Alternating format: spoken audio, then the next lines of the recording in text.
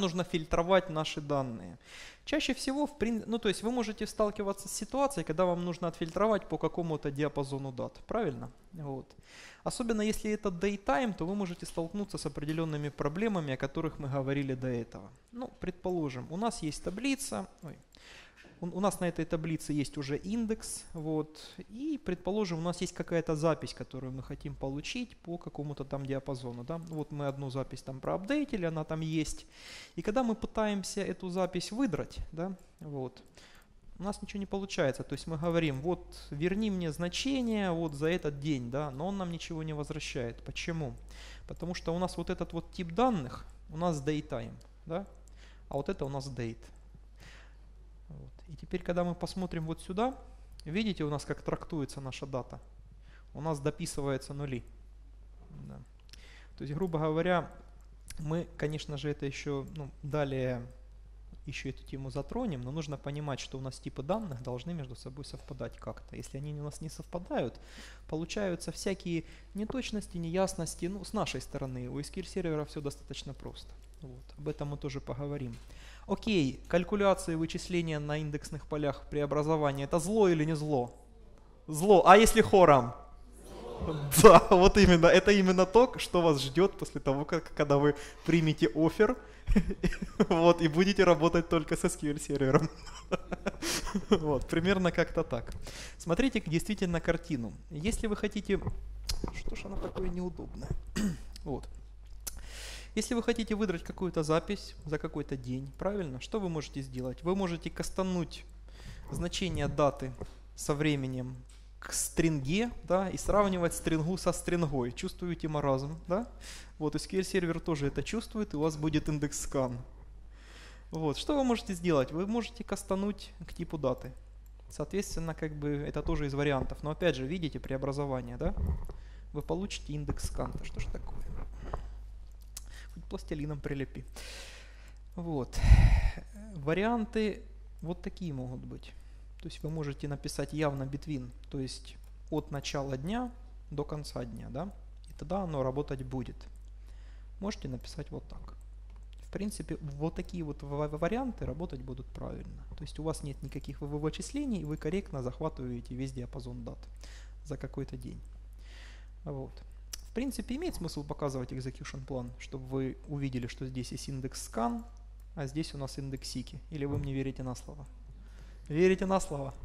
Бляха-муха. Вот это кредит доверия. Что?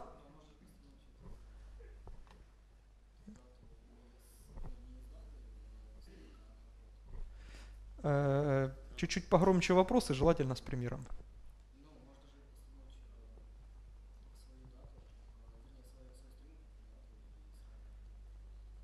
Можно и так сделать. Тут просто за день, понимаете, смотрите, у нас daytime, да, то есть у нас тут хранится дата со временем, а мы хотим вот так вот выдрать. То есть такой вариант будет работать лучше. Какие еще бывают идиотизмы? А предположим, вам нужно за месяц данные выдрать, да? Когда-то я сопортил мои прекрасные любимые индусские базы. Вот, это когда тебе приходит проект, а его до этого делали великие специалисты из Бангалора. Вот. И тогда ты встречаешь прекрасные перлы, которые можешь показать сейчас. Вот, потому что такое в трезвом уме и сознании вряд ли придумаешь. Ну, как бы это... Почему бы и нет? Окей, смотрите, картина такая. Э, вы преобразовываете тип данных в строку и потом лайком, да? Вот, гребете. Ну, это работает, но это индекс скан. Можете сделать вот так год-месяц, чтобы четенько сказать. Но это опять же индекс скан. Можно чуть-чуть покороче написать, но суть от этого не поменяется, да? Можно написать вот такую функцию, которая с 2012 SQL сервера появилась, ну, последний день месяца, да, она определяет. Но это опять же калькуляция, правильно, на индексном поле, то есть индекс скан будет. Единственный вариант это не лениться и задавать просто период. Тогда оно будет работать нормально. вот. Какие, в принципе, есть еще варианты? Можно создать вычисляемое поле и на основе этого вычисляемого поля сделать индекс. И в таком случае у вас, ну, грубо говоря, вы можете вот так вот э, более удобно фильтровать ваши значения. Ну, то есть не по периоду, да, а, ну, то есть, грубо говоря, вот так вот можете делать. принципе разницы не будет. Это как бы из вариантов. Ну просто помните, вот это то, что нужно вот запомнить, то есть типы данных, вот эти вот всякие там калькуляции, преобразования, вот это вот тоже. Не, не ленитесь писать корректно, правильно, чтобы вот SQL сервер все, все понимал однозначно. Ок. А вот теперь для затравочки. Э, как вообще в жизни бывает? Мы получили какую-то дату, да? Мы ее скопипастили сюда, что-то там выбрали, и у нас таки что-то работает, правильно? То есть такой метод копипаста. Вот. Но обратите внимание, у нас очень часто дата приходит в локале. Ну, то есть, грубо говоря, у нас есть SSMS, правильно, у нас есть определенные локальные настройки на серваке или на компе, ну, где вот эта вся штука работает, наша клиентская, да. Вот. И это может быть французская локаль, китайская локаль, а там э, э, формат вот этой вот даты, он как бы меняется. Для тех э, будем говорить так, внимательных людей, вот здесь разделителей никаких нет, правильно? А вот здесь они есть. Видите? И вот это потом в коде у вас остается. Посмотрим, к чему это приводит. Ну, кто скажет, это хорошо или плохо? Наперед. Плохо, жизнь зло. Вот, видите, как это главный постулат. Смотрите, у нас действительно вначале мы просто несколько примеров приведем, что в разных форматах у нас даты, да, и они могут по-разному трактоваться в зависимости от языка и текущих настроек сессии. Ну, то есть, грубо говоря, у нас 12, чис... 12 э, месяц, 5 число. И смотрим, как они трактуются в разных вариантах. Смотрите, 12.5, 5.12, 5.12, 12.5.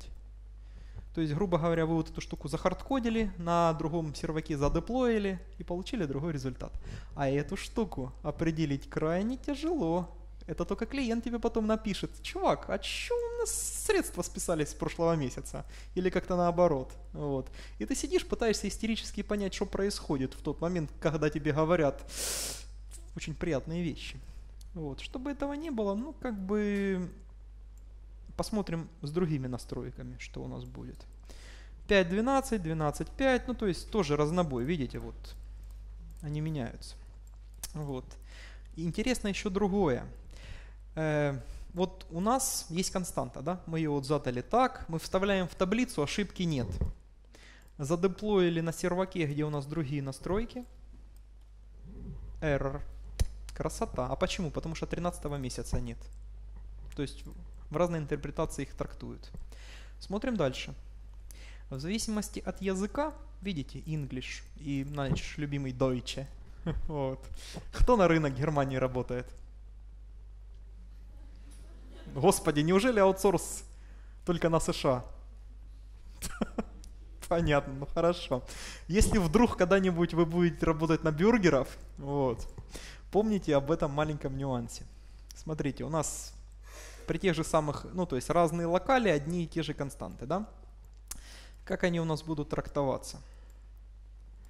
Смотрите, 1, 12, 12, 1, 1, 12, 12, ну то есть видите, да, они чуть-чуть различаются.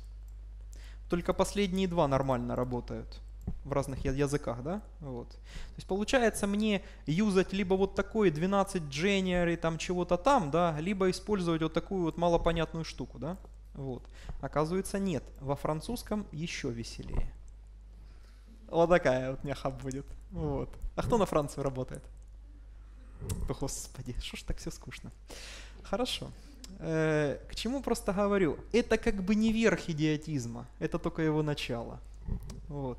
Мало того, что еще из-за локали вашего языка, да, из-за настроек того, что первое трактовать там месяцем, днем, неделей, да, еще от типов данных зависит, как будут те или иные константы трактоваться. И это вообще круто. Смотрите картину. У нас одна и та же константа, но разные типы данных. Видим, да? У нас английский, немецкий. И смотрим на картину.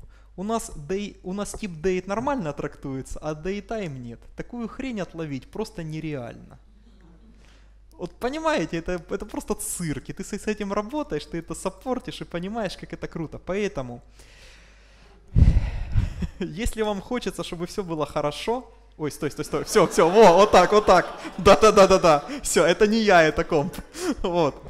Месяц, о, ну, прошу прощения, год, месяц, день, без разделителей. И тогда SQL сервер скажет спасибо. А, жизнь боль. Привыкайте к этому, это SQL сервер. Хорошо, с этим делом разобрались? Самое... Да. Ну еще раз.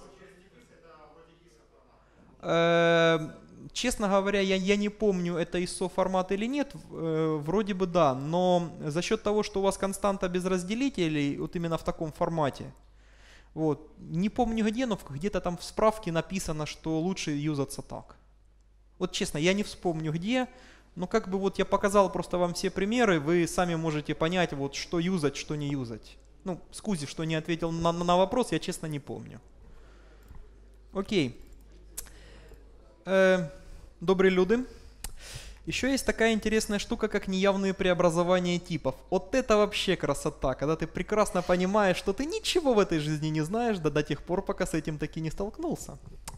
Показываю на простом примере. У нас тип данных nvarchar, да? У нас здесь строковый литерал, здесь циферка. Хранятся здесь только циферки. Что произойдет? Главная интрига дня. Ой, ну это не главная интрига, это я базу забыл указать. Вот. Мы включим execution план и посмотрим на картину. Индекс scan, индекс seek. Почему? Смотрим сюда. Что он делает? Видите, у нас conversion implicit, он преобразует наш строковый тип данных в int. Видите? Да. То есть он не вот эту вот константу пытается преобразовать в строку, а вот это столбец. И у нас получается неявное преобразование. Это то, что нам мешает эффективно использовать наш индекс. Правильно? Жизнь боль.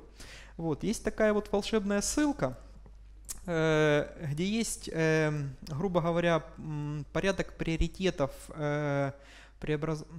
как бы так правильно сказать, ну тут меня, конечно, можно подловить. Просто в чем смысл? Что есть определенное старшинство типов данных, вот, и там просто показана последовательность, что в какой тип данных будет преобразовываться в случае вот таких вот неявностей.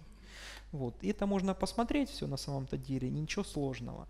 Но тут прикол в чем? Что тут вы мало того, что перформанс свой снижаете, можете еще потом натолкнуться на классную ошибку. Например, у вас раньше там, например, postal code, ну, то есть это там строка, к примеру, да, вот мы ее видим, у нас nvarchar, да, даже не так. У нас, например, раньше postal code был, э, к примеру, числом, да, Потом срочный request, нужно, циф... Э, нужно буковки добавлять. Мы меняем тип данных, да, у нас э, снижается performance, вот, но у нас код наш работает. И потом, когда мы добавляем хотя бы один postal code, в котором у нас буковка есть, да, он вначале преобразует все, а потом фильтрует. И он просто на exception упадет. Ничего не упал? Да ладно, вот здесь он должен упасть. Вот. То есть видите, он еще до этапа фильтрации, он просто преобразует все и не может этого сделать. Более того, интересно это когда Unicode. Это просто красота, когда у вас одна и та же строка, но она у вас хранится как ANSI, как Unicode. И вот эта вот волшебная буковка N, это та штука, которую вы должны запомнить на всю жизнь. Следующий пример как раз будет про это. В чем? Сейчас покажу. Фух, страшно, правда? Вот, смотрите, Картина такая. У нас раньше тип данных был э, ANSI. Потом клиент сказал, будем сканить китайские интернет-магазины. Вот один человек улыбнулся, это скоро будет у нас. Вот. У нас в коде остались переменные, объявленные как ANSI, да? Вот. А потом начали приходить ее йони коды, ну, предположим, да? То есть, грубо говоря, ну, у нас тип данных поменялся, а константы или, например, параметры остались старыми. И вроде бы строка и строка, что может меняться? Но это разные типы данных. Соответственно, у вас могут быть неявные преобразования типов. И вот как бы вот прикол. Когда у вас ANSI ANSI и ANSI Unicode. Такой нюанс. Просто вот здесь может быть переменная, которая объявлена как nvarchar. И у вас все. Вот примерно как-то так. На самом-то деле это можно показать на вот примерно таком случае. У вас есть хранимка, правильно? В вашей хранимке э, кстати, вот тоже интересные нюансы. Вот у вас есть два запроса, да? Ну, предположим, это тот динамический э, SQL, который формирует Entity Framework. То есть, в принципе, это в таком упрощенном виде, что у вас есть примерно в коде. Вот. Э, почему ну, хороши, к примеру, хранимки, да? Вот. Тем, что там ты хотя бы понимаешь, какой у тебя тип данных приходит в качестве переменной. Ну, то, ну, то есть, грубо говоря, а когда у тебя Entity Framework, он это, ну, динамически на основании твоего маппинга формирует. Соответственно, ты вот эти вот ошибки можешь даже не увидеть. То есть оно будет что-то там тормозить, а ты этого в принципе не заметишь. На продакшн запушишь, ну бог с ним. Работает и работает. Вот. Э, в принципе, как бы вот просто обращайте внимание, чтобы вот переменная, которая у вас в хранимке, да, совпадала с тем типом, который у вас вот здесь, по которому идет фильтрация. Ок. Ну, супер. А, еще не пользуйтесь Entity фреймворком. Хорошо. Вот. Раз мы затронули такое понятие, как хранимые процедуры, да, э, у кого была такая ситуация, что у вас хранимка работает то быстро, то медленно? Было такое? Уверенно, да. Я, я чувствую, что это у, таки у многих бывает. У меня тоже. Вот.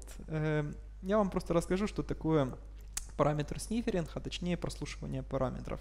Но сперва небольшой пример, и мы поговорим вначале о статистике, о которой уже до этого говорили. Мы заюзаем нашу старую базу вот, и посмотрим на execution план. Обратите внимание. Да ладно, что-то не то. Или то. Нет, все то. Смотрите. Э, в первом случае, видите, у нас ожидается одна строка. Видим, да? Вот. Во втором случае у нас 1000 строк. Ну почему? Потому что в принципе SQL сервер вначале протолкнул топ э, при операции, ну то есть при доступе к индексу, он вот этот топ, э, э, господи, протянул э, грубо говоря, вот сюда, вот, это уже по факту, он там просто выдрал их. Но суть не в том. Э, он смотрит на статистику, да, вот, и понимает прекрасно, что вот для x, например, там всего лишь одно значение, да, а для параметра а там, например, много значений. То есть он смотрит на статистику. Вот. И у нас разные планы выполнения получаются. Ну, в принципе, они должны были быть разными, но будем считать так, что это 17 сервак. Что-то, наверное, нужно было на старом показывать лучше. Эм, давайте мы сейчас, наверное, знаете, что сделаем? Сейчас. Да ладно. Это вообще я что-то не то класснул. Сейчас, две секунды.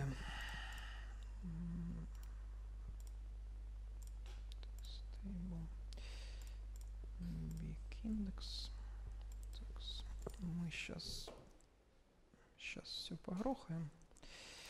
Сделаем на основе b наш чудо-индекс. Окей, и посмотрим.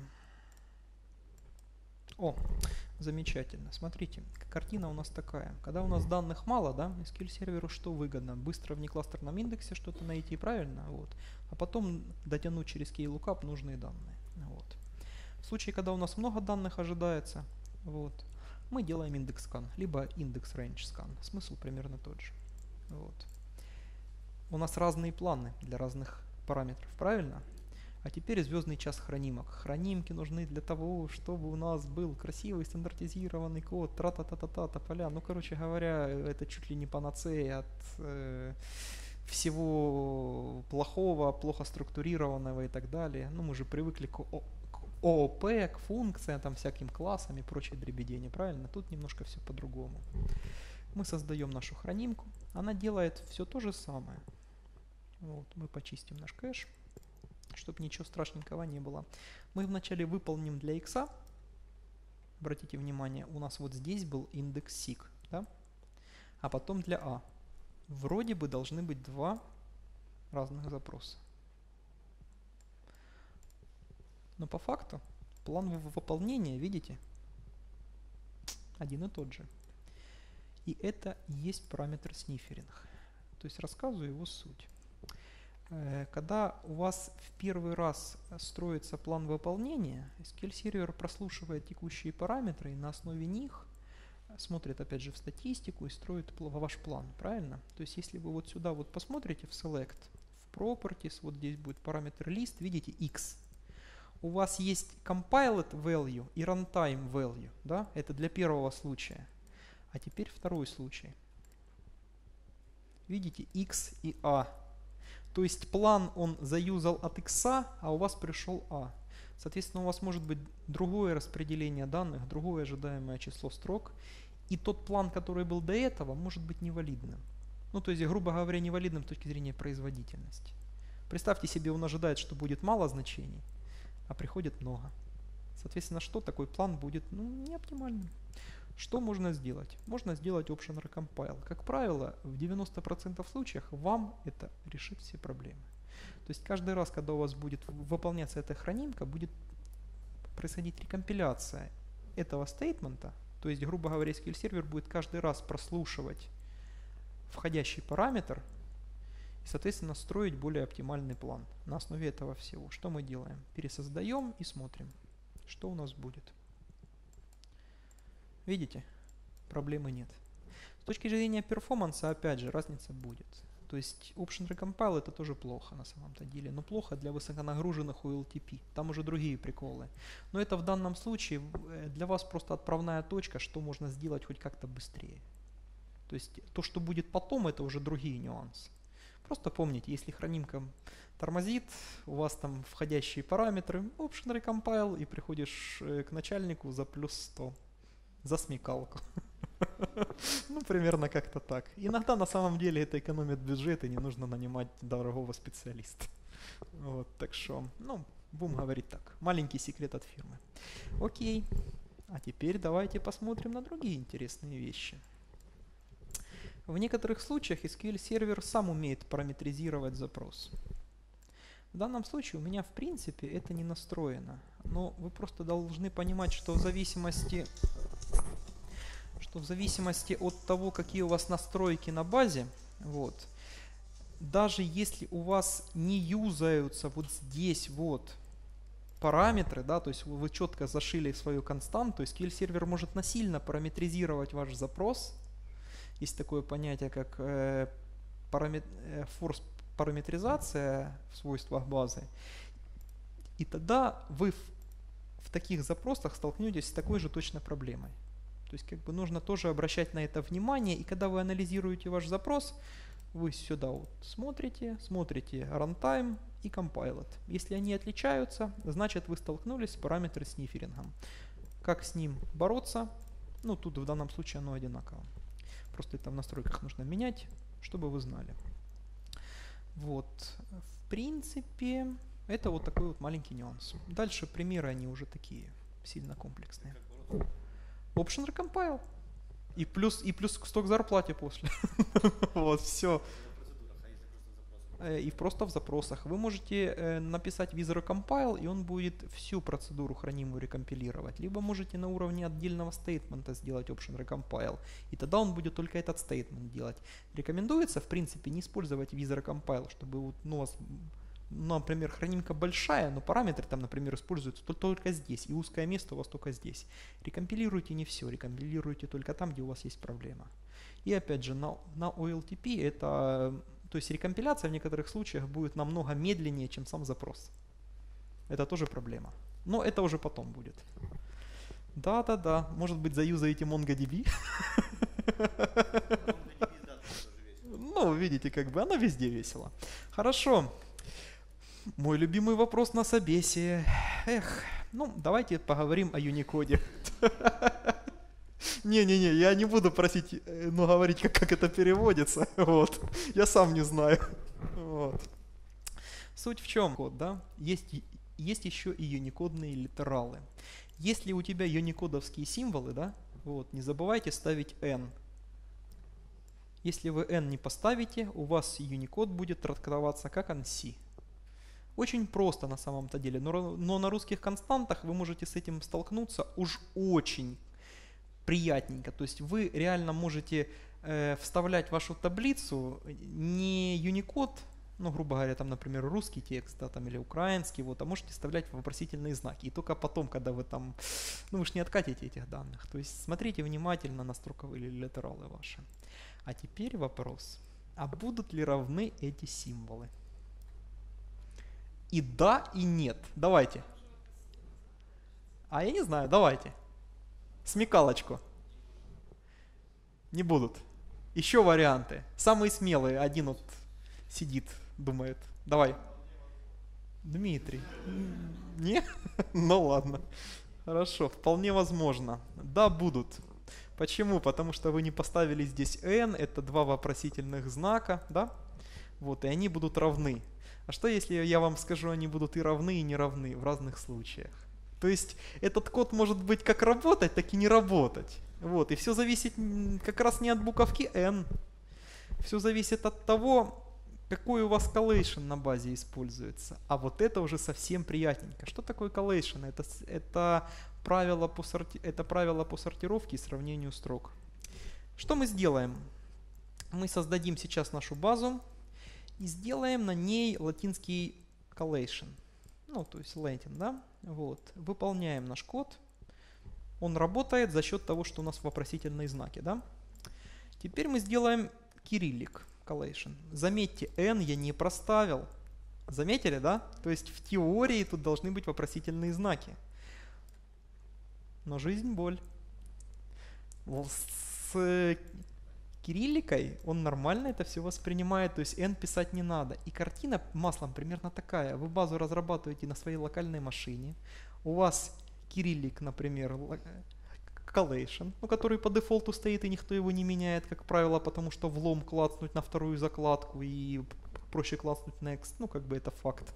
Вот. И вы можете столкнуться потом с такими приколами, когда вы зад, задеплоите это все на, например, на продакшн, где у вас стоит другой collation.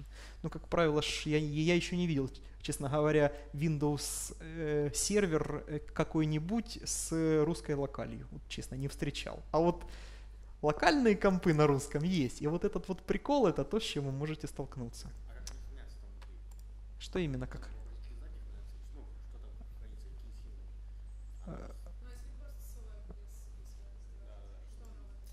Давайте посмотрим.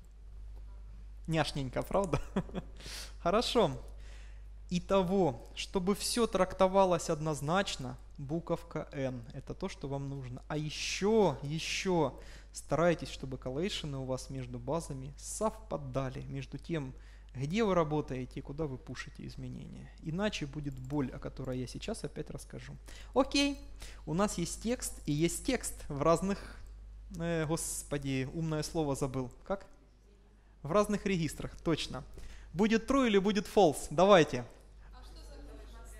А, вот, вот, вот именно, мы уже мыслим именно этими вещами. Ну так как? Ай, господи, приходите к нам работать, это честное слово. Ладно, хорошо, действительно, ответ и да, и, и нет. Все зависит от коллейшена. То есть у нас в принципе true. Почему? Потому что у нас по дефолту case insensitive стоит. Вот. Если мы возьмем и сделаем case sensitive, то это уже будет false. Но пойдем дальше. Вот этот наш collation на базе. Есть еще collation на базе master, есть еще collation на базе TempDB. И когда они между собой не совпадают, получается форменный локальный ад. Вот. Ну, его можно легко пережить. Вот. Покажу на простом примере. Создаем базу. У нас албанский коллейшн. Ну, давай. Что-что? Ну, безусловно, там еще есть такие коллейшны, поверьте. Посмотрите, посмеетесь от души. Как бы Microsoft такие вещи делает. Просто международные, я бы сказал. Бана... Есть еще, кстати, бангалорский коллейшн. вот, не знаю, зачем, правда. Но это дело такое. Окей. Э, что мы делаем? Э, так, мы по-разному э, по-разному создаем темповые таблицы. То есть тут мы, помните, у нас албанский коллейшн, да? Вот. У нас вот здесь char 1. Здесь мы написали char 1 такой же точно, но нода database default. Тут мы формируем временную таблицу через into. Тут у нас вообще табличная переменная. И давайте посмотрим, что же у нас таки будет. И смотрим. Смотрите, на базе TMDB у нас Latin Collation, да? На базе тест у нас албанский. Обычная таблица у нас наследует collation нашей базы. Временная таблица, если мы не указали явно collation default, наследует collation TMDB. Круто, правда? Вот. T2 и T3 это когда мы явно указали наш collation, либо когда мы сделали into. И еще табличная переменная, она всегда использует collation текущей базы. Ахинея, пипец. Но это не я делал, ну это не я дизайнил, ну, э, соответственно, можно с этого еще и смеяться. Вот, а теперь прикол такой. Мы вставили маленькую а, правда? И мы не знаем реально, будет этот код работать или не будет. То есть у нас один collation case insensitive, да, а другой case sensitive. Круто, правда? То есть а, у вас приложение может работать не так, как вы ожидаете. Или другой прикол.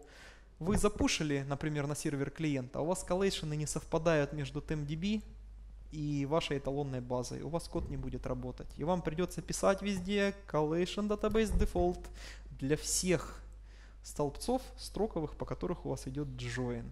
Чувствуете, как это круто, как вам хочется мигрировать на какой-нибудь PostgreSQL или еще что-то, не? Поверьте. Э, будет опять же преобразование типов насколько я помню. Окей, но это далеко не самое смешное. Это только за, это затравочка. Смотрите, что у нас происходит. Мы создаем базу, правильно? Вот. Мы пишем case insensitive, да? Создаем таблицу. Видите, вот employee, да, с большой буквы. И в коде где-то там скопипастили, там по-быстрому написали и вставили этот волшебный запрос. Обратите внимание, видите? Различается у нас регистр.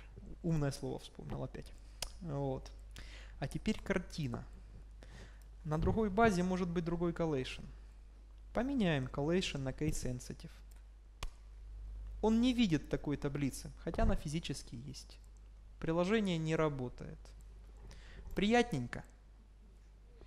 Ну, а мне приятненько. Вот. Еще больше вам скажу. Есть еще веселее приколы. Представьте себе, что есть коллейшн еще на базе мастер. Чувствуете, сколько нужно помнить? За что нужно платить деньги вашему работодателю? Ну вот.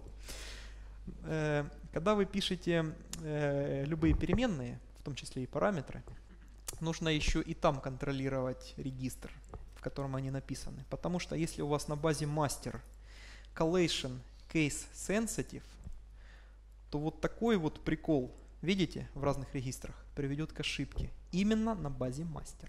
То есть это глобальные настройки. Круто, правда? Вы такие вещи, в принципе, э, ну, будем говорить так, когда у вас сильно много серверов, они самые разные, такие вещи потом очень сильно могут ударить по вашей репутации. Почему? Потому что collation просто так не поменяешь тебе нужно таблицу альтерить. А если она многие гигабайты весит, это такой трэш получается после. То есть, в принципе, на этапе проектировки таблиц подумайте раз 10, какие могут быть варианты. Спросите у клиента, какие у него настроечки. И это лишний повод к тому, чтобы контролировать вообще до этапа разработки, ну, как бы уточнить у человека, а что у тебя там за сервера, какая у него там конфигурация, что вообще там будет, вот. Ну вот как-то внимательно нужно к этому всему э, подходить еще на этапе проектировки. Ну а если саппорт, значит могу за вас только помолиться. Вот, что могу сказать. Окей, с этим разобрались? Вот тут, кстати, вот это самый большой трэш, я сам, кстати, об этом не знал. Мне коллега рассказал. Вот, это у него такой прикол был, он тоже там смеялся, там такие маты были. Вот. Хорошо. Э, с этим все? Ок. Ну, да. Есть, э, грубо говоря, э, на уровне сервера нет. У вас есть у каждой базы свой колледж. Да, есть только на уровне базы. Ну, насколько я помню, на уровне сервера нету. Честно, не вспомню. По-моему, нет. На уровне мастер, модел, TMDB нет, нету, нету. Окей, э, теперь картина, когда вам нужно искать вхождение. Видите, да? Помните, у нас тут был индекс скан. Ну, то есть, когда у нас тут процента нет, у нас все хорошо, а когда процент индекс скан. Иногда коллейшены могут быть полезными. Э, почему? Э, если вам нужно быстро что-то найти, то есть вхождение строки, да, видите индекс скан, вы можете создать на таблице бинарный collation. Я вот сейчас даже покажу. Пу -пу -пу -пу. Сейчас, две секундочки. Э, бинарный, бинарный, бинарный. Да ё-моё, сейчас что-то я его не вижу. А, вот. Вот, бинарный, видите, да? Бин но оканчивается на бин. И тогда, в принципе, э, за, за счет того, что этот э, collation регистра зависимый, вы можете вхождение искать, э, в, грубо говоря, в несколько раз быстрее. Ну, я, я, я сейчас просто покажу, чтобы вы видели степы. Так, сейчас мы выполним это все дело. Это такой процесс не быстрый, но чтобы вы это видели. Так, Теперь мы выполняем наши все запросики и посмотрим. Возвращается все одно и то же. Но разница, смотрите, 214 миллисекунд, 215, а когда бинарный collation 100 и 32 вообще. В принципе, можем выполнить еще быстрее. Это первый раз оно выполнилось, потому что оно э, первый раз э, данные поднимало для индекса. То есть, в принципе, вот наши значения. И сравнить с тем, что обычно.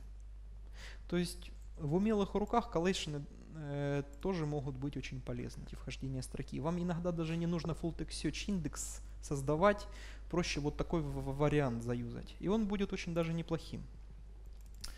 Окей. Эм, какие есть еще нюансы? Помните, я говорил, у нас есть char, у нас есть varchar, да? Если у нас char, то у нас прибавляются пробелы. Есть такая штука, правда? Но как у нас сравнивать э, строки, когда у нас есть пробелы справа, а когда нет? Давайте посмотрим. Во-первых, когда у нас есть э, пробелы, да, некоторые функции пробелы вообще не учитывают. То есть вот, например, функция len, да, видите, она показывает 4 символа, хотя реально там их 20. Круто, правда? Пробелы есть, пробелов нет. Ну, то есть это то, что я говорил, чем отличаются типы данных. Но интереснее другое. Смотрите картину. А равно B, true, B равно А. Не забывайте, что в А у нас пробелы справа. То есть пробелы не учитываются при прямом однозначном сравнении, да? А когда мы делаем like, видите, в одном случае true, а в другом случае false. Приятненько, правда? Вот. Нюанс примерно такой. Если у нас вот здесь пробелы, а здесь пробелов нет, то они учитываются. То есть слева пробелы учитываются, справа для лайка э, пробелы не учитываются. Ай, как это прекрасно, чувствуете? Вот. И вот в таком мире я живу. Э, ну, допишите, будет примерно так же. Э, даже, наверное, АБ, БА. Так, что-то я где-то схалтурил, прошу прощения. БА. Стоп. Э, пробелы. Честно говорю, я уже забыл чуть-чуть. Э, Б. А. Я прошу прощения. Пробелы. Э, блин, честно забыл. А, Б. Ну, в общем, давайте по-другому просто. Когда вот здесь пробелы есть, а вот здесь пробелов нет, вот, то тогда этот код работать не будет. Вот, ну, то есть справа пробелы, э, то есть вот здесь пробелы отбрасываются, а вот здесь пробелы... Да, да, да, да, да, да, да. Вот. Я уже просто, ну, сори, чуть-чуть устал. Вот, окей, с этим мы разобрались. Теперь, э, пожалуйста, не ленитесь использовать однозначные, э, ну, то есть исчерпывающую длину для ваших типов данных. То есть, например, вы написали varchar max, да? Вы можете написать varchar, но это лишь говорит о том, что вот здесь будет один символ. Вот. Но это как бы вот конкретно, когда мы говорим о переменной, да? Вот. Но если вы напишете просто varchar, то в некоторых случаях он будет трактоваться по-своему. Я просто покажу. Смотрите, 40 символов в одном случае, да, когда мы четко указали, один символ в другом случае, когда мы указали varchar просто. Но если мы напишем конверт varchar и cast varchar, то он будет считать, что здесь их 30. Ну, вот такой тоже нюанс. Можно питание? Да, давайте. Коли є сенс варчар фіксувати певні довжини? Чи взагалі можна писати сюди макс? Макс, э, в первую очередь, на него потребление памяти больше. Помните то, к чему я возвращался в самом-самом начале? То есть э, желательно, чтобы типы данных у вас совпадали. Блин, мы, наверное, вряд ли успеем. Давайте чуть-чуть в ускоренном режиме, хорошо? Вот. Мне все-таки бы хотелось бы все пройти бы, чтобы как бы, ну, чтобы это было интересно для вас, для всех. В принципе, пока норм. Окей. Хорошо, любым... Э, кто в DBBest работает?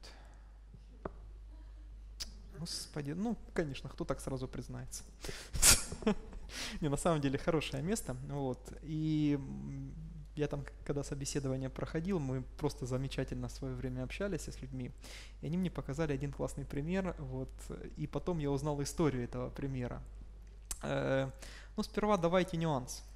У нас есть, э, ну, я потом расскажу, это действительно интересно, вот, и смешно. Э, у вас есть две переменные, да? Видите? char 1 и int. Ну, тут, тут у нас int, тут у нас char, да? Вот. Скажите, пожалуйста, что у нас в, в обеих случаях выведется на экран? Вот тут n, а тут 0, да? А тут у нас что выведется? Громче, увереннее, как приходишь зарплату требовать больше. Ладно, смотрите. Э, картина примерно... Да, супер. А теперь смотрите на картину. Видите, что у вас? У вас э, функции дают разный результат. К чему? Из null у вас преобразует к наименьшему типу, то есть к чару, да, в данном случае. А тут у нас к инту, потому что это у нас дробное число, да.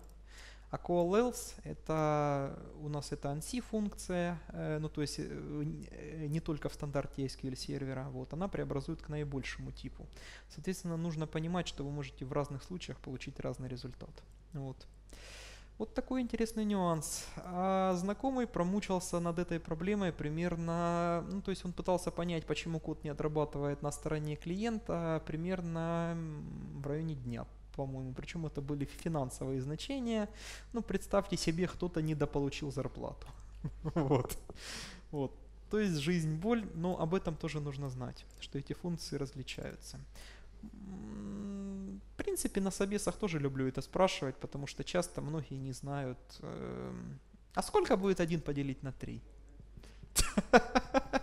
Ну ё-моё, давайте, ребят. Да, ноль, окей. Действительно. Иногда все не так явно, не так очевидно. В зависимости от того, какие у вас типы данных используются, такой результат вы и получите. Если у вас целочисленное деление, у вас будет целочисленный результат. Если дробное, получите дробное значение. Окей. Вот. И, собственно говоря, все очень просто. Как работают агрегирующие функции? У вас интовый столбец, да? То есть инты целое значение. Count у вас посчитает все число айтемов, которые есть. Нулы, не нулы, все. Count 1 равнозначен count звездочки. То есть, в принципе, это та же самая константа. Вот. Если у вас каунт по столбцу, он будет считать только не нул значение. Distinct только уникальный среди не нулов. Сумма работает также. Ну, как бы можно проверить. Часто некоторые не знают, даже сеньоры. Так приятненько приходишь, спрашиваешь, и, ну и вместе смеемся. Делим один на три. Вот. Со средним еще веселее. Если у вас целые значения, вы получите среднее целое суть улавливаете, да? Поэтому, если вы хотите получить, в принципе, дробное значение на целом столбце, среднее, да, умножьте на 0, э, ну, умножьте на 1. Я оговорился, все, все, все, все, все, все, все. Ну, на 0 тоже можно умножить, конечно, мы тоже получим дробный результат хороший. Хорошо, с этим разобрались, да? Давайте, я еще тоже Покажу для примера, видите разницу, да? Вот. Просто вот такой интересный нюанс. Э, Есть вам вопрос? Давайте. Еще раз. Пятнадцатый нет, не пропускали. Все по чесноку. Никаких обманов. Э, окей. Э, теперь относительно того, как работают Union, Union All. Э, нужно помнить, что Union это у нас операция параллельная. То есть вычетка данных будет идти и отсюда, и отсюда. И после этого будет применена группировка к этим данным. То есть у нас данные будут только уникальные, правильно? Вот. Union All у нас, у нас объединит и вот этот датасет, и вот этот. То есть у нас получится просто concatenation. Вот.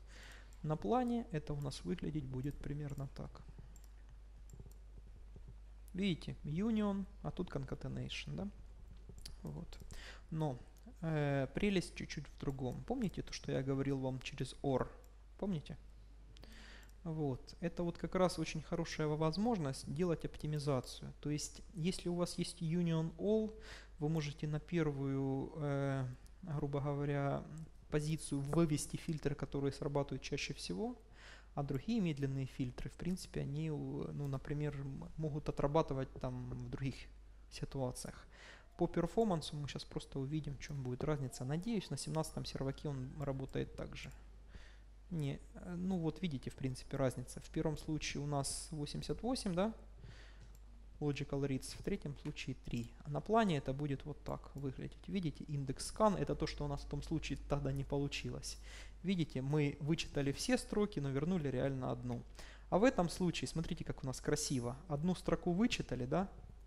А вот этот вот скан, который затратный, видите, number of execution, ну посередине надпись такая, видите, 0. Он реально не выполнился даже. Он есть на плане, но он не выполнился. И за счет этого мы можем делать очень крутую оптимизацию на самом-то деле. Окей.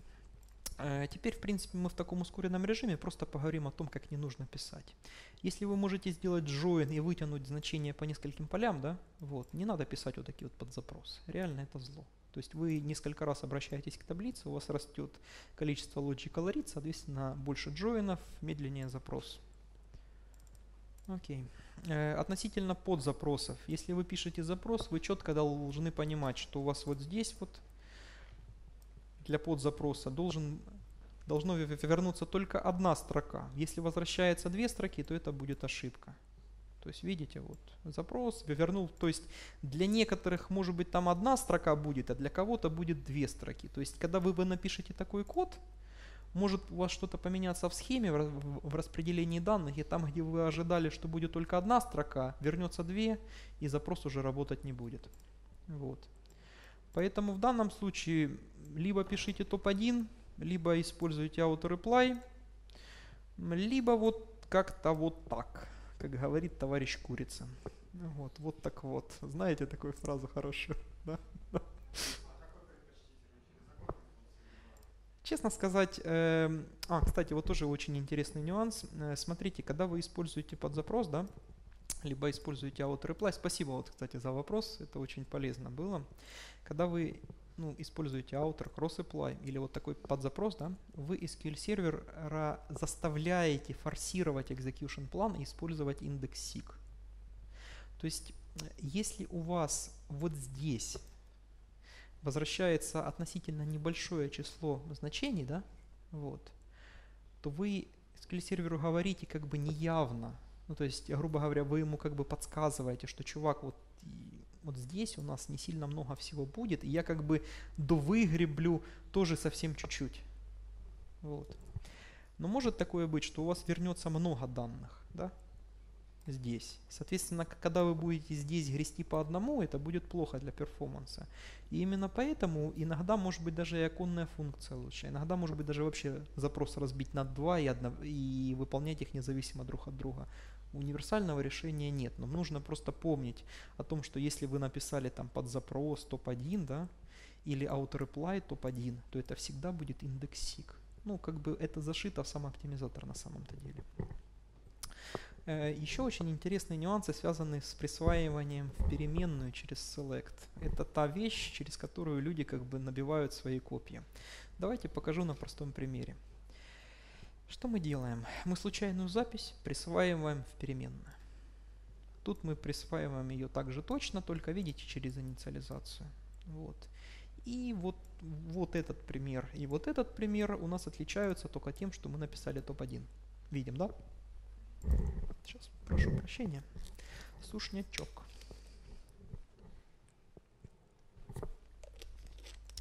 Окей. И с перформанса что у нас будет? 24 миллисекунды, 7 и 7. Видим, да? То есть первый случай у нас вроде бы как медленнее, чем другие. А почему? Кто скажет? Э, ну, смотрите, на самом деле таблица будет вычитываться в, в, в обеих случаях. Я просто вот сейчас покажу. Смотрите, индекс скан, индекс и индекс скан.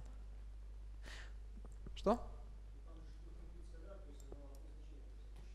Ну да, ладно, хорошо, засчитывается. На самом деле, смотрите, в чем прикол. Когда вы вот здесь вот написали топ-1, да, SQL сервер выдрал одну строку и дальше уже не идет. А вот здесь он выдрал все. Ну, в принципе, он в любом случае, в нашем случае, таблицу всю вы, вы вычитал, да.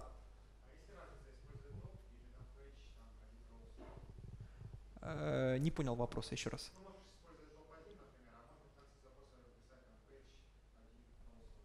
Честно, не пробовал никогда.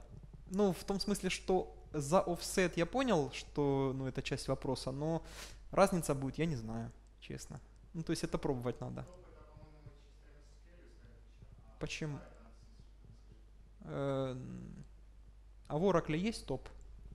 Никто не знает. Господи, кто тут собрался, блин, одни любители SQL. Ладно, я шучу. Э, просто смотрите, прикол в чем, что у нас вот здесь вот э, будет присвоено, ну то есть мы вычитали все, да, вот, и присвоили последнее вернувшееся значение. То есть не, не одно, а последнее. И прикол в том, что у вас вот этот вот перебор всех значений будет происходить. Я на простом примере вам сейчас Интересно, покажу или нет на простом примере? А, да, покажу, но чуть-чуть позже. Просто прикол в чем, что э, за счет вот такого вот присваивания, да, вы можете за один раз присвоить несколько там значений, да.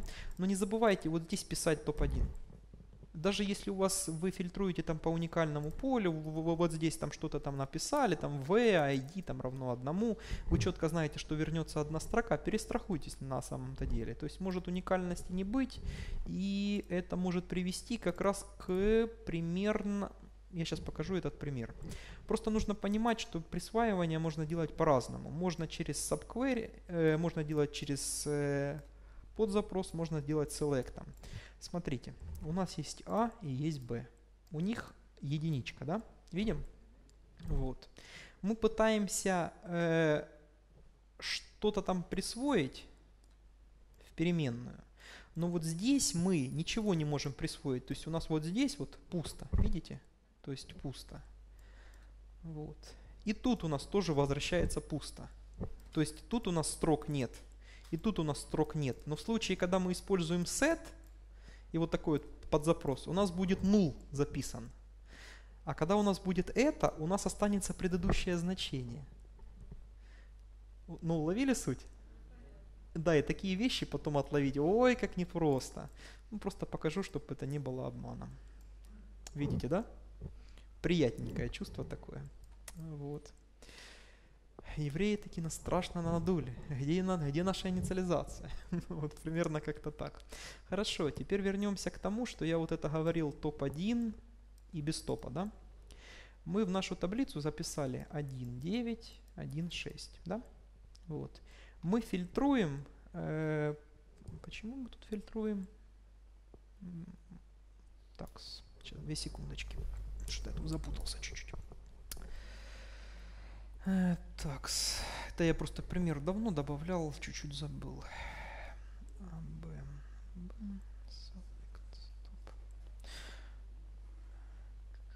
Так, давайте выполним его вначале. Вот этот нюанс. У нас в таблицу записалось 6, 9 и 6, да? За счет того, что у нас вот здесь не указан топ-1, да, он нам вычитало все, но присвоил последний элемент. Видите, да? Вот, теперь давайте напишем, у нас тут топ-1. Прекрасная клавиатура Lenovo. Так, видите 9, да? То есть суть уловили. Вот, а теперь мы сделаем индекс. У нас поменяется порядок строк, по которому он будет вычитывать. Соответственно, у нас могут быть... Так, прошу прощения. Соответственно, у нас могут быть получены разные значения. То есть мы ожидаем одно, а получаем по, по факту другое. И это нужно понимать, то есть как бы топ-1 это вот ту штуку, которую лучше не забывать. Тут вопросов нет? Окей. Э, любимые вопросы Stella System. Мы сейчас все фирмы переберем в городе Харькове. Просто у всех фирм есть, корон, ну, есть такие коронные вопросы на самом-то деле. Так, у нас с вами времени до 16.45, правильно? То есть у нас с вами реально еще час 20 примерно. И, по-моему, мы таки даже успеваем еще и потом о жизни поговорить. Удивительно. Да? Ну, у меня 35. Это, это ноутбук, он живет своей жизнью. Вот. Это нормально. Это Lenovo. Ладно. Хорошо. Так. Э, коронный вопрос. У вас есть э, таблица, да? У нее есть столбцы, у столбцы есть колонки, и, соответственно, они могут хранить null значение, либо могут хранить не null значение. Ну, то есть, грубо говоря, мы разрешаем там null хранить или не разрешаем. А теперь картина маслом. Э, у нас есть... Сейчас, где тут наша прекрасная Adventure Works? Как там? B-Production. B-Product, Product. И вот здесь у нас есть Color, да? Так, не здесь. Э, вот у нас есть Color, и у нас табличка, э, господи, колонка Nullable, да? Окей, э, у нас всего в таблице 504 строки, да, мы пытаемся отфильтровать по серенькому, да, мы получим 1. У нас там было 504, 1, теперь мы говорим не, не равно. Почему мы получили 255? А у нас там было 504, то есть должно было было 503, да, а получили мы совсем не то. Вот. Теперь смотрим на распределение наших данных. Вот примерно столько-то, видите, вот. У нас составляют наши нулы. Соответственно, когда мы делаем какие-то операции сравнения, да, вот, это логично нам подсказывает на то, что с нулами как-то таки по-другому приходится работать. Вот. И действительно, в стандарте предусмотрена вот такая вот конструкция. Из нул, из not null. Видно, да? Вот. И в принципе нужно просто помнить о вот этом маленьком нюансе, что с нулами, э, ну, будем говорить, как бы я проблем особых не вижу, просто нужно помнить, что при сравнении нулом, однозначного сравнения, ну, например, там написать color равно null, у вас не получится. Вот. Э, ну, в принципе, вот смотрите, вот, из null, да, из not null, теперь вы напишите равно, вы не получите вообще ничего. Вот. Э, не помню, как правильно по уму это называется, троичная логика или третичная логика. То есть у нас есть true, false и undefined. И undefined. Вот. В, в JavaScript еще веселее. Поверьте, тут SQL сервер просто он отдыхает, он говорит, блин, в JavaScript еще хуже, как бы, ну, не надо меня ругать. Вот. Да, да, да, да, да, да, да. Ну я чуть-чуть хлебнул так что я вашу жизненную боль понимаю по этому поводу. Окей, смотрите картину. А, у нас есть две таблицы, да? У нас тут 1, 2, а в другой таблице 1. И мы говорим вывести все, что не равно второй таблице. Да? Вот. Ну, то есть оно должно вывести двоечку. Что мы делаем? У нас все работает, да? In у нас тоже будет работать, то есть все то, что есть во второй таблице. То есть все хорошо. Но когда вы в эту таблицу записываете null, например, в какую-то, ну давайте, запишем в первую таблицу, да, у нас что-то поменяется? В принципе нет. Просто null не будет работать из-за того, что, ну скажем так, он не подходит под вот это вот сравнение, да. Вот, а теперь запишем null сюда и увидим картину. Опс, у нас вот здесь пропала наша двоечка. Видим, да? А теперь смотрим. Операцию in SQL р- разбивает на, на операцию or. То есть, в принципе, это не только касается вот нашей ситуации. Вы можете написать долгий-долгий список инов, да, и потом посмотрите в execution плане на свойства при доступе к индексу. Там, в принципе, будет долгая череда из оров. Вот. То есть это в случае in, оно работает так. И картина, смотрите, а равно 1 или а равно 0. То есть вот здесь у нас будет true, здесь у нас будет что? Undefined, да? Вот. Ну или unknown. Я прошу прощения, неправильно сказал, не undefined, unknown. Это третье свойство. Вот. А за счет того, что и, или, прошу прощения, у нас ну, как бы все нормально работает. А теперь картина другая. Not in, он у нас рас, э, раскладывает как а не равно одному и а не равно нулу. Да? Вот. А, за, а, а, а за счет того, что здесь end, здесь он нам возвращает unknown, у нас и, у нас вся операция становится unknown. Соответственно, не возвращается вообще никакого результата. То есть, к чему я это говорю? Если у вас в подзапросе not in, и у вас вот здесь может вернуться значение null, у вас весь statement вернет 0 строк. Все просто. Вот. Как можно от этого от, перестраховаться? Явно указывать is not null. Один из вариантов. Можно написать через except, но это уже извращение. Можно использовать not exist. Тут, кстати, такого прикола не будет. Вот. Э, в принципе, еще в чек-констрейнтах это еще интересно себе поведение ведет. Смотрите ситуацию. Мы создаем с вами таблицу, да? И говорим четко, что мы можем в таблицу записать только черное и белое. Это опять же э, не в контексте рас, а в контексте цветов наших товаров. Вот. Как бы вот в таком духе. То есть мы создали нашу таблицу и говорим записать черное. Good. Запишем красное.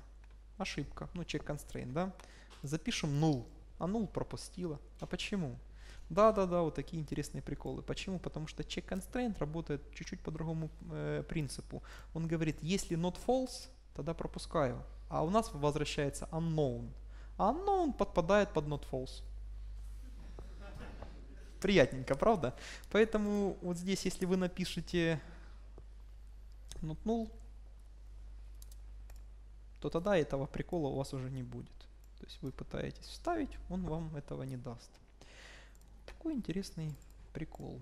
Так, э, относительно агрегации. В принципе, э, ну, давайте коротко, чтобы не вдаваться в детали. Это на самом деле такой пример узкий. Лучше суть. У вас есть э, определенная там, например, джойны, да, то есть э, соединили там несколько таблиц между собой, прошу прощения. Э, После этого их как-то группируете между собой. Видите, мы группируем там, например, по региону и по какому-то там, э, ну, там и по какому-то штату, предположим, да? И у нас вроде бы как все работает. Есть вариант, когда мы агрегацию делаем до джойна. Видите, вот разница, да? То есть агрегация после джойна и агрегация до джойна. Э, в зависимости от того, какие у нас внешние ключи на таблицах, SQL сервер сам может догадаться и, будем говорить так, э, соптимизировать запрос, то есть сделать агрегацию до момента соединения. То есть в чем смысл? Он будет агрегировать на меньшем числе строк. Понятно, да? Вот. Но более того, мы сейчас еще посмотрим на плане, что у нас будет. А, ну, это, ну SQL сервер уже умный стал. Видите, как вот интересно. То есть он делает агрегацию до момента соединения. Видим, да? Вот. Э, давайте попробуем его таки запутать. Попробуем усложнить запрос. Ну, то есть еще что-то там добавить, да? То есть join ов будет больше, там, к примеру, то есть какой-то комплексный запрос. И посмотрим. Сейчас, две секунды.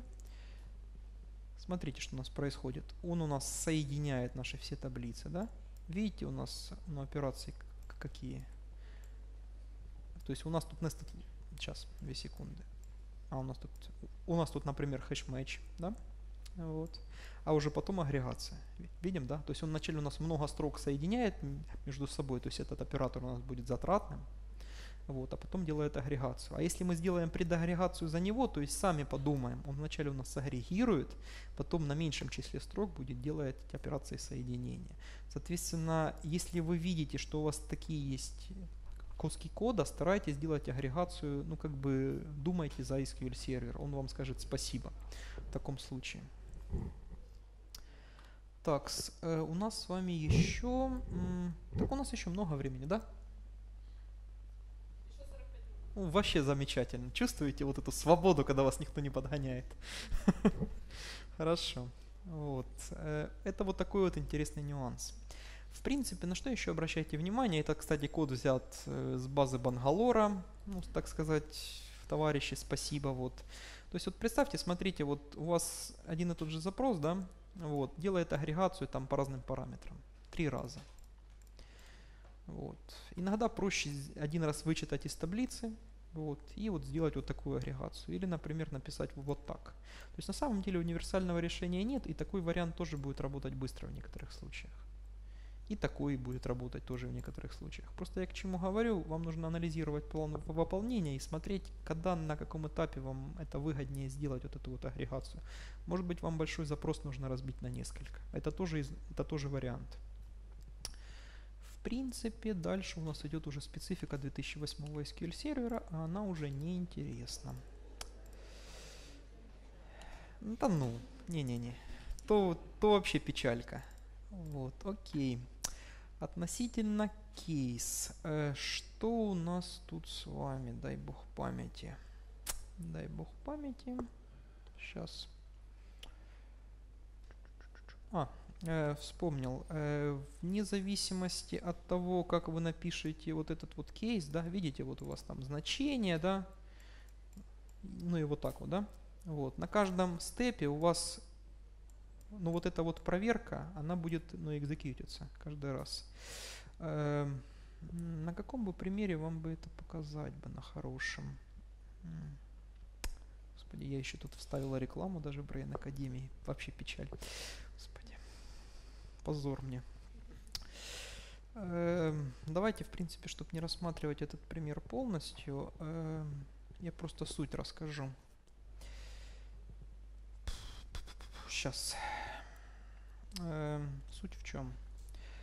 Э, у вас каждый раз, когда идет проверка, да, вот, SQL сервер смотрит, оно подпало под выражение, ну то есть equal, вот, тогда все. Если не equal, то мы смотрим следующее значение.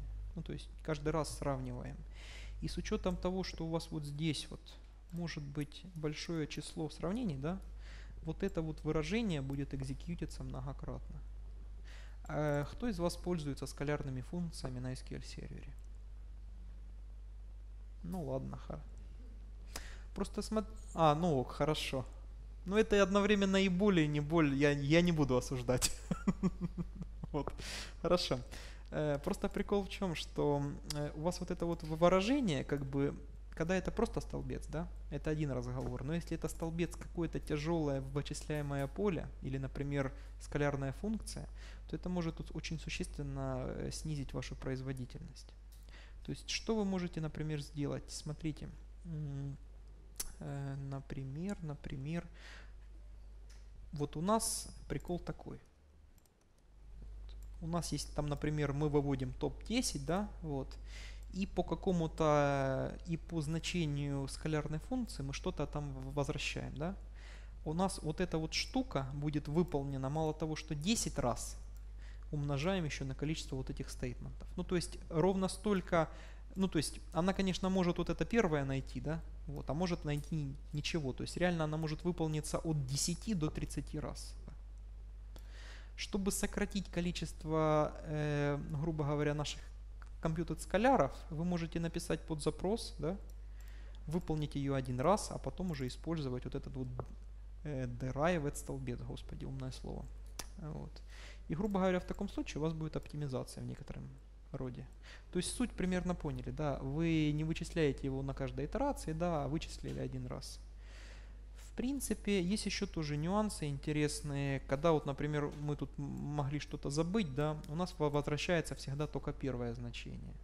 но нужно помнить, что у вас оно может не выполниться, соответственно, оно несколько раз будет ну, экзекьютиться, вот, и старайтесь просто, чтобы у вас вот этот вот список был, ну, будем говорить, таким чистеньким, уникальненьким.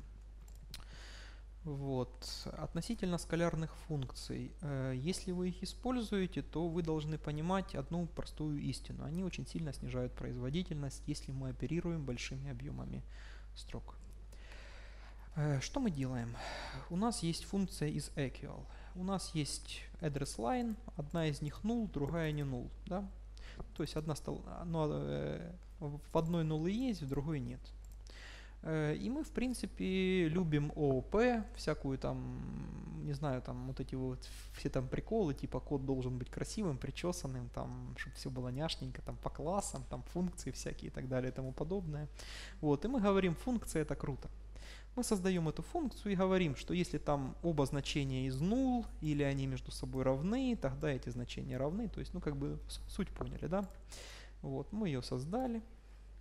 Вот. И с точки зрения перформанса посмотрим, когда мы юзаем эту функцию, когда мы эту функцию не юзаем, и когда мы пишем все более интеллектуально. Вот. Да ладно тебе. Так, значит я ее не там создал. Вот здесь. Мы опять ее создаем, теперь успешно. И посмотрим на картину маслом. Вот. Принципе, во всех случаях у нас индекс скан, потому что мы все вычитываем, правильно? Вот. Но тут очень интересный вот этот вот фильтр. На плане, давайте еще раз выполним. Да ладно, блин. Ну это вот неправда. Вот, то есть, ну, ну бывает у SQL сервера такой, просто если мы выполним это отдельно, сейчас, вот так, то сейчас он должен честно сказать. Вот видите, там 2 миллисекунды. Ну, бывает у него это такое. Просто к чему говорю, смотрите, если вот эти все три запроса выполнять, да, то там, где вы используете функцию, будет намного медленнее, чем остальные. Ну, это погрешность, сразу говорю, все. То есть мы смотрим вот сюда, да? Мы юзаем функцию скалярную, либо не юзаем функцию скалярную. Тут 46 миллисекунд, тут 10, да? За счет чего? Э, вызов, каждый вызов скалярной функции, он затратный для SQL сервера. Э, э, эту штуку не фиксят, господи, ее не пофиксят. То есть там уже даже писали, господи, оптимизируйте вот эту вот хрень, чтобы мы могли пользоваться скалярными функциями нормально. Они говорят, нет, у нас много, у нас много э, кода э, наследственного, где ожидаются тормоза, поэтому мы это не исправим. Понимаете? И вот чувствуете суть того, что, ну, да, да, да, ну это смешно, особенно когда на официальном форуме это пишет там э, сеньор там э, чего-то там по поддержке продукта, э, э, это вызывает только улыбку. Э, ну, ладно, почему бы и нет. Но я люблю SQL сервер. Он зато веселит хорошо и бодрит по утрам. Вот, вместо кофе. Э, просто к чему говорю, что если у вас есть возможность не использовать скалярные функции – не используйте их, вы можете написать это как-то по-другому, это будет нормально работать. Единственная ситуация, когда вы можете скалярную функцию использовать, это когда функция у вас не принимает никаких параметров, и она определена в схема байдинг. Только тогда она будет экзекьютиться один раз на, на запрос. Когда это полезно? Когда у вас, например, э, скалярная функция возвращает какую-то константу, которая юзается во всем коде, к примеру тогда это смысл имеет. Во всех остальных случаях, ну, как бы, я бы не рискнул. Вот я бы так бы сказал бы. Мне иногда нравится и скопипастить что-то. Ну вот, давайте.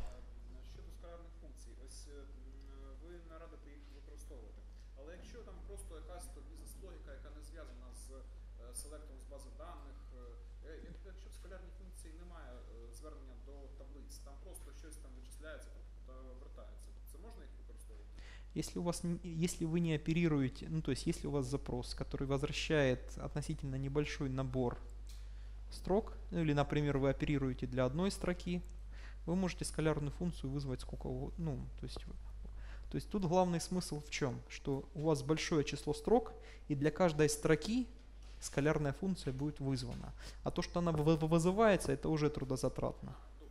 Вы даже можете скалярную функцию объявить как, как табличную функцию реально, которая будет возвращать одно значение. Вот, и это то будет быстрее. Но об этом мы чуть-чуть попозже. Блин, ну мы практически продвигаемся, так сказать. Чувствуете вот эту вот бодрость? Вы еще не... У вас нет еще отчаяния, вы, вы не хотите убежать, сказать, я хочу забыть весь этот бред. я хочу пользоваться MongoDB, Oracle или еще чем-нибудь. Нет? Ну, там еще веселее, поверьте. вот. В всяком случае, во, во всех э, серьезных BDMS-ках эм, BDMS, да, все правильно сказал. Да, видите как. Ну, слава богу, не оговорился. Ну, да, вы же понимаете, что мы все об одном и том же подумали. Вот. Чем смысл? На самом-то деле, ну, в любых продуктах таких приколов очень много, вот, и к ним нужно, ну, скажем так, к естественному злу относиться. По-другому никак. Вот. Просто есть куча проектов, которые это юзают, и, ну, предположим, нужно с чем-то смириться. Но знать это надо, хотя бы чуть-чуть. Окей, э, у нас есть скалярные функции, у нас есть табличные функции, у нас есть inline функции. Давайте поговорим о табличных функциях. Чем они хороши? Не знаю, наверное, ничем. Ну, с моей точки зрения. Вот. В чем смысл? Э, в табличной функции вы можете указывать несколько стейтментов, да? Это некий аналог хранимой процедуры плюс-минус. Но хранимую процедуру вы не можете юзать в селекте. Не можете а табличную функцию можете. Вот. И в этом и вот этот вот синтаксический сахар и отличается на самом-то деле. Но обратите внимание, когда вы табличную функцию используете, у вас, видите, return table, да? То есть реально, перед тем, то есть у вас функция вызвалась, заэкзекьютилась, записалась в табличную переменную, и эти результаты потом юзаются уже в самом селекте. То есть в некоторых случаях, ну давайте посмотрим, к примеру, картину другую. То есть у нас есть одна табличная функция, которая возвращает информацию обо всех, например, там, чего там, ну, к примеру, продажах. Да? Вторая возвращает детали по продажам. Третья возвращает инфу на основе первой и второй таблицы. Ну, такой хронический идиотизм, но поверьте, в .NET коде примерно, э, ну, я так скажу, э, перлы есть везде. Это бангалорский код, мне он нравится, он всегда веселый, такой позитивный, я бы сказал, особенно когда люди тебе еще и доказывают, что он хорошо работает, это так приятно. Эх, не, зато не скучно жить. Вот. И ситуация такая, смотрите, мы этот код сейчас выполним и посмотрим, практически секунда. И товарищ из Бангалора говорит success. Ну, ну конечно же, с, с, с другим акцентом. Вот. Э, ну, как бы мы можем этот же самый код переписать без функции, да? Можем его даже сделать пооптимальнее, то есть там, ну, по-хитрому сделать. У нас была секунда, да? У нас 114 миллисекунд, 72. Чувак, что дальше? Он, хм, ну ок. Вот. Просто я к чему говорю. Смотрите, когда вы используете э, табличные, э, табличные функции, вы должны понимать, что у вас вот этот вот predicate pushdown работать не будет. То есть он вычитает все, и потом из табличной переменной, то есть из временного объекта будет что-то там делать. Если вы хотите что-то, чтобы оно работало быстро, да, вы должны в своих этих функциях параметры передавать. Опять же, вы встретитесь с проблемами option компайлами и так далее и тому подобное. То есть, в принципе, как бы просто должны понимать, что вот это вот есть такой вариант, но юзать его нужно только тогда, ну, когда вы посчитаете нужным. Вот, иногда намного проще написать вот такой вот запрос, чем использовать вот эти вот всякие приколы из ООП. Я не говорю, что он плохой, просто для SQL сервера и вообще для SQL это немножечко другой подход. Oracle, нам, например, PLSQL, и там это в принципе в рамках нормы. То есть там просто своя философия при работе. Вот. У SQL сервера операция над, над множествами. Вот что важно. То есть вот эта вот итерационная обработка и прочее, они этого не, не сильно любят. Есть inline функции. Чувствуете? Вот что-то для нас таки приготовили. Но тут смотрите, в чем прикол. Эм, если в табличной функции вы, вы можете в принципе юзать несколько стейтментов, да, вот, то в inline функции вы не сможете несколько стейтментов за, заюзать. И это главное различие между ними. Вот. Что такое inline функция? В принципе, это некая абстракция. То есть то, что вы написали функцию, да, написали в ней... Так, это у меня фонит, да? Окей, это я виноват. Вы написали что-то, да? Ну, то есть, грубо говоря, мы дублируем то же самое, что у нас было до этого, да? Вот. Ну, то есть, грубо говоря, мы просто повторили все то, что было, но для inline функции. И попробуем его выполнить. Что мы получим? Мы получим плюс-минус быстро, то есть не секунду, да? Вот. А почему? Потому что SQL сервер эту абстракцию раскладывает на джойны и дальше уже свою оптимизацию включает. То есть, в принципе, вот это вот просто фундаментальная разница между ними. Вот. Если мы вернемся вот сюда и выполним этот запрос, вы увидите очень интересную няшку. Или не увидите, не знаю. Сейчас что-то я, пропустил где-то. А, я, прошу прощения, я же их пересоздал. Соответственно, там уже был inline. Сейчас покажу. То есть мы увидим на плане что-то такое, видите? Вот. То есть это уже наши вот те данные, которые мы записали в наши табличные переменные, да? Вот. И вот такая вот штука. Далее. Кто любит использовать вьюшки? Никто. Результат не влияет, соответственно, можно его выкинуть. Вот. В таком случае, как бы, вьюшка может быть и оправдана на самом-то деле. Вот. Но когда внешнего ключа нету или как-то там, грубо говоря, вы заставляете SQL сервер думать больше, чем нужно. Вот. А это, как правило, сказывается на производительности. Ну, как бы ок. Да, давайте.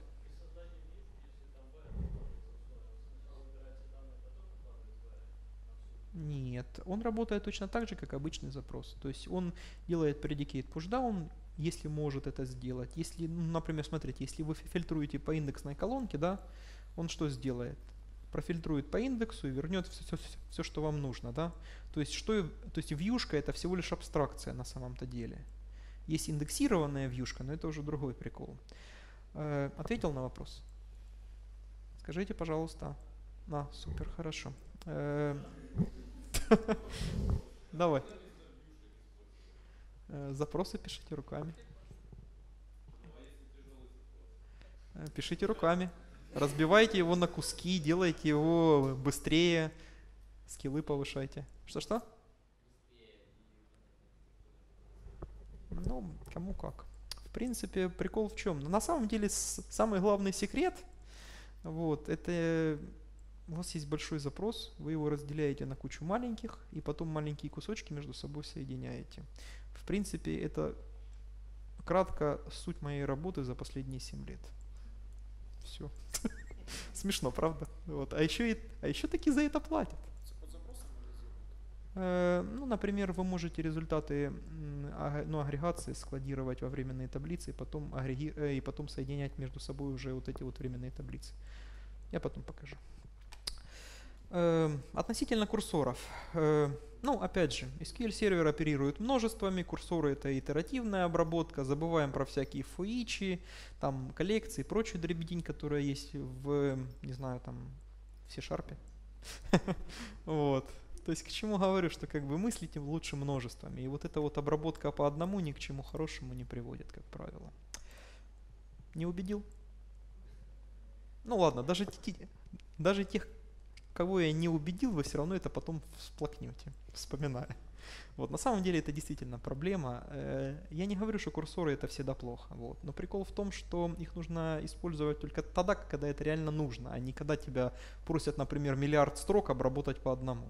Ну, глупо, правда? Вот. Проще работать небольшими кусками или большими кусками. То есть ты разбиваешь один там поток информации и, например, делишь и обрабатываешь их также. Окей, э, string concat пропускаем, мне интересно. Э, ну, это для меня, в принципе, для вас тоже. Он, я не знаю, что он там затесался. Э, относительно SQL injection. В принципе, как бы в коде это выглядит Сейчас, две секунды. Это, это, это, Нет. По-моему, тут. Example. М, У меня таки есть что-то интересное для программистов. Чувствуете, какой трэш, да? У вас, наверное, все сложнее, чем у меня. Вот, хорошо, смотрите картину. Э, Видите, string формат, мы формируем определенный запрос, да, и вклеиваем значение.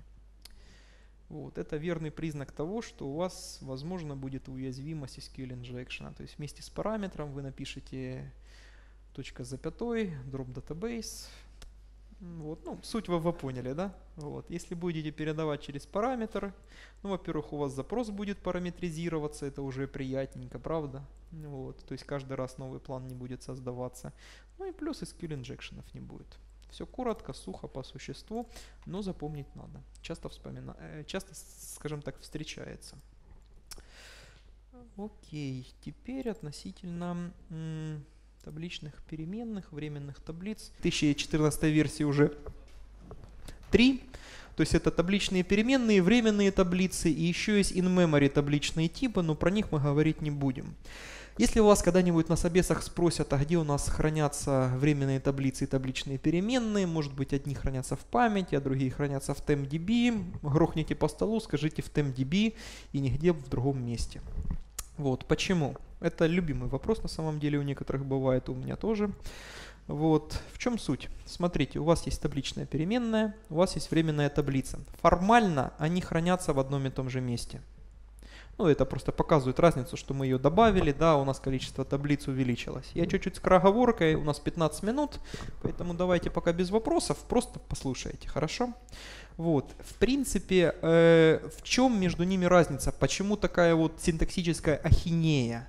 Они по-разному работают на самом-то деле в некоторых случаях. Например, у нас есть временная таблица, табличная переменная. Вот, мы, что у нас будет происходить?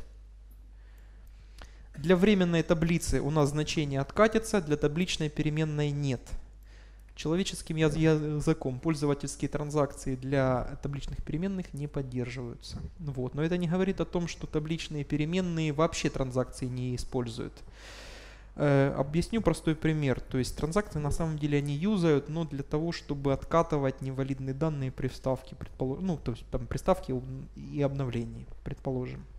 То есть суть в чем? У нас есть табличная переменная, мы записываем сюда единичку, у нас здесь unique индекс, то есть наш primary key, правильно? Потом вставляем 1 и 2 одним батчем. У нас exception, у нас вот этот statement откатился, то есть у нас двойка не записалась. Ну и в принципе вот результат. То есть суть в том, что системные транзакции для табличных переменных поддерживаются, а пользовательские нет. То, что я до этого показывал. Это нужно знать. Далее, вот такие вот нюансы работают и для переменных. То есть для переменных вы вообще откатить значение не можете роллбеком. Они живут своей жизнью. Они, кстати, в памяти обитают. Э, Но если, таблично, но если переменная сильно большую занимает, например, место в памяти, то она может еще храниться в TMDB, но это уже другая история. Далее. Э, Какой еще нюанс? Э, Предположим, у вас есть блок, который никогда не выполнится. Видите? 1 равно нулю. То есть в теории вот здесь табличная переменная не создастся, да? Но тем не менее мы нарушаем все, у нас эксепшена нету, код у нас не выполнился, вроде бы как, да, но реально она создается. Что происходит? SQL сервер реально ее пропихивает сюда. Ну, это нормально, как бы. Это не самый большой маразм, который вы в жизни еще встретите, поверьте. Есть еще интереснее нюанс. Когда вы объявляете табличную переменную внутри цикла, внутри курсора или еще чего-то, что выполняется больше одного раза, бойтесь. Почему? Потому что вы ее объявили, эта хрень стала где-то здесь. Чувствуете суть? И вы в вашу табличную переменную дозаписываете значение, хотя вы считаете, что она пересоздается. Суть поняли? Да? Хорошо. То есть, грубо говоря, на каждой итерации, да, у вас будет э, вот, этот, вот, вот эта табличная переменная расти, расти, расти, расти, расти и так далее. И у вас будет, в принципе, либо, э, господи, проседать производительность, либо другие казусы быть. То есть вы ожидаете, что в таблице, например, там два значения, да, а у вас от предыдущего, от предыдущих итераций еще все остальное там хранится. И если вы это действительно таки юзаете, нужно вот писать delete from на каждой итерации, если вы хотите, чтобы там что-то таки почистилось. Запомнили? Хорошо. Тишина это согласие или, или, или осознание факта, что жизнь боль? Хорошо. Э, далее, на что еще нужно обращать внимание? На... Помните, у нас такая штука была, ожидаемое число строк. То есть то, что берется из статистики, тра-та-та поля, вот такая вот интересная штука. Временные таблицы э, идентичны обычным таблицам. То есть что мы делаем? Смотрите, мы записали в табличную переменную что-то там, потом из нее читаем, вот она у нас. И видите, у нас э, ожи... Сейчас ожидаем, сейчас, стоп, стоп, стоп, ожидаемое число строк 266, видим, да? Вот, э, опять же, пример просто показывает суть, есть э, нюансы. Просто чтобы вы, вы видели и, и запомнили, что там их 266, правильно? В, во временной таблице. Так, у кого-то что-то пищит, но слава богу, не у меня. Вот. Теперь мы поговорим про... Э, теперь мы поговорим про табличную переменную. Мы делаем все то же самое. Окей, э, мы поговорим про то же самое, но суть у нас вот в чем. Ожидаемое число строк единица. И именно из-за этого нюанса, когда SQL сервер всегда считает, что там единица, вы можете получать неоптимальные планы выполнения. То есть там может быть 200 тысяч строк, да? Но там но SQL сервер будет считать, что там единица. И поэтому вариантов у вас в принципе несколько. Либо использовать option recompile, и тогда у вас при рекомпиляции будет правильное значение, да, вот, ну, то есть, грубо говоря, оно его подхватит либо использовать временные таблицы. Но самое главное смешное, нет универсальной рекомендации, что юзать либо то, либо то. Просто есть разные нюансы. Нужно понимать, когда вы используете временную таблицу, у вас может происходить рекомпиляция плана. При использовании, ну то есть, ну, то есть грубо говоря, при каждом вызове у вас может быть э, происходить рекомпиляция. Когда вы используете табличную переменную, рекомпиляции не будет, но будет оценка в одну строку. Жизнь боль на самом-то деле. То есть это вот такой краткий экскурс. С этим, в принципе, вы, может быть, столкнетесь и очень, может быть, даже сильно. Что еще важно? Эм, предположим, у нас есть какая-то хранимка. Помните, я раньше говорил, что вы не можете заюзать э, хранимку в селекте, правильно? То есть вам нужно вызвать хранимку, записать какое-то значение, которое она возвращает в какой-то временный объект, да, а потом юзать уже его в селекте. Было? Не обманываю? Хорошо. Вот. И в принципе э, суть, смотрите. В этом случае мы юзаем хранимку, да, и записываем какой-то результат. А тут мы этот результат юзаем напрямую, без хранимки. В чем будет разница? Да ладно. Я ее что, пересоздал, что ли? Сейчас, две секунды. Не торопи. Паблик. Так мы ее что ли удалили? Блин. Ладно, окей, сейчас сделаем по-быстрому. Сейчас, две секунды.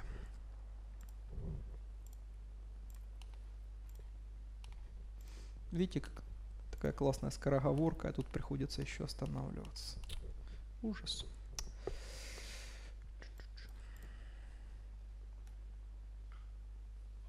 Так, она выполнилась и смотрим. Э, так, вот у нас два, да, два стейтмента. И это нормально. Вот. Смотрите, в первом случае у нас будет такое, то есть мы вызвали хранимку, да, хранимка нам записала данные во временную таблицу, точнее даже не так, у нас вызвалась хранимка, а потом у нас ну, вот этот вот exec Видите, результаты хранимки он, он записал куда-то. В этом случае у нас произошел, ну то есть мы видим, что у нас произошло, то есть мы вызвали определенный стейтмент, и он записал значение в, во временную таблицу. Но если посмотреть на разницу, что у нас реально по факту происходит, можем обратить очень интересный нюанс. Сейчас я, я его покажу. Эм, что у нас происходит? Смотрите, мы вначале вызвали, ну то есть мы прочитали нужные нам значения хранимкой, да? И потом у нас происходит вот такой work table. Видите, у нас огромное число тут значений, да? Вот. А вот когда мы напрямую обращаемся без хранимки, то есть мы э, не из хранимки делаем exec, да, а напрямую из запроса. Вот, то есть тут 7 миллисекунд, а тут много, там 65. Эм, когда у вас встречается вот такая вот конструкция, exec insert into, да, вот, он вначале экзекьютит вот это, записывает в TempDB, а потом из TempDB записывает вот сюда. То есть дважды записывает одни и те же данные. Об этом нужно нюансе помнить. Более того, эта же штука часто встречается у нас э, в динамическом SQL. То есть у нас может быть вот такой вот statement. Видите, у нас есть запрос динамический, любой. Мы делаем exec, вставляем в результат. Вроде бы удобно, правда? Вот. Но суть будет такая же. То есть он вначале выполнится, запишется у нас в TempDB, а потом запишется у нас сюда. Поэтому, чтобы этого не было, в динамическом SQL вставляете вот так. И вызываете просто exec. И все будет работать быстро. Ок. Э, относительно insert into. Э, разница между табличными переменными и временными таблицами в том, что э, параллельная вставка в табличную переменную не поддерживается. И именно здесь вы можете получить разницу в скорости. А, сейчас. Не туда клацнул. То есть последовательный план, параллельный план. Вот. Э, опять же, э, нюанс, э, вы можете встретить такое утверждение, что когда вы используете табличные переменные, вы не можете получить параллельный план. Это и да, и нет. Из-за того, что у вас оценка всего лишь одна строка, SQL сервер считает, что строк там типа мало, соответственно у него threshold маленький будет, ну, то есть ваш query cost, и он скажет, что никаких параллельных планов типа использовать не надо. Вот. Написали option recompile, он типа сделал его уже параллельным, но при доступе в саму э, табличную переменную он не будет использовать параллелизм. То есть она будет вычитываться последовательно, и это тоже снижает производительность. Пять минут звучит как приговор в моем сроке. Господи, честно. Я да не прощу. Вот. Э, так, что это у нас? Э, далее. Если вы знаете, что индекс у вас уникальный, сделайте его уникальным. Это признак unique. То есть, когда вы индекс создаете, да, unique не забывайте использовать, если он у вас уникальный. Если он у вас, э, если вы эту штуку забыли указать, то в некоторых случаях, то есть, например, в пример join двух таблиц, у вас результаты могут записываться в TempDB. Это есть такой нюанс. Или, например, просто юзаться TMDB, но реально не использоваться. Э, далее, если вы знаете, что у вас в таблице есть уникальные данные, да, не ленитесь их использовать. То есть, например, э, у вас есть таблица, да, вы туда что-то там записываете, забыли дописать там primary key или еще там что-то, и по факту вы получите примерно вот такой вот execution план. Видите, Eagles Pool. Если, если посмотрите Сейчас. Вот. Если посмотрите сюда, у вас видите work, work table. Когда вы увидите вот здесь в статистике work table, это значит юзается TMDB. Значит это плохо, значит запрос может быть медленным. Вот. На плане это будет выглядеть вот так. Теперь вы вот здесь написали там primary key, то есть у вас есть какая-то там уникальность, упорядоченность, правильно? Вот. Смотрим сюда, у нас все тут стало хорошо. Видим, да? Э, далее, э, если вы используете транзакции, помните, что nested транзакции, если вы написали rollback, откатывается все, а не только та, которая, ну, с которой все начиналось. То есть нюанс, смотрите, э, у нас есть таблица, мы в нее записали один, первая транзакция, да? Потом вторая транзакция, мы записываем два, говорим, давай откатим, оно откатит нам все. Если именованные транзакции, то работать будет. Кстати, хороший вопрос, спасибо. Э, и в таком случае, в принципе, конструкция будет вот такой, и она будет работать. То есть, как бы, этот нюанс тоже нужно помнить, когда вы пишете rollback, то вы знаете, что откатываться может быть больше, чем то, что вы ожидаете. И самое, наверное, последнее. Господи, не используйте select звездочку. Э, пожалуйста, я знаю, что это трэшевый, самый в конце такой там нюанс, да, э, из-за того, что вы используете select звездочку, могут быть использоваться столбцы, которые вам реально не нужны, вот, соответственно, будет больше логических чтений, медленнее выполняться запрос. Лучше всего все равно перечислять все столбцы явно. В данном случае э, вы перестрахуетесь от того, что у вас что-то в схеме поменяется и так далее.